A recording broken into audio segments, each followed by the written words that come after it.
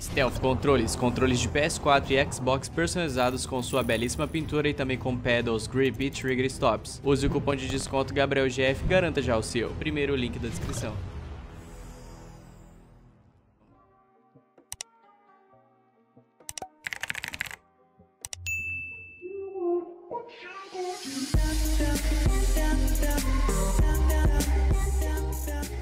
Fala aí galera, beleza? Aqui quem tá falando é o Gabriel, trazendo pra vocês mais um vídeo de Fortnite E galera, o vídeo de hoje é bem rápido, beleza? Onde eu vou falar pra vocês que o Floss vai estar tá voltando pra loja Sim galera, é o Floss, mas não é o Floss original, é o Floss 2.0 galera Vocês vão dar uma olhada aí que eu encontrei aqui no tweet do ShinaBR Onde ele mostra o Floss 2.0 Cara, é praticamente a mesma música, é praticamente a mesma dança Vocês vão dar uma olhada nisso e vocês vão dar a opinião de vocês aqui nos comentários, beleza? Eu tenho certeza que eu vou comprar essa dança Porque eu mesmo não tenho Floss nessa conta, eu tinha numa outra conta, mas nessa essa conta não tem floss, então eu vou comprar porque eu acho muito da hora essa dança. Então se liga aí, galera.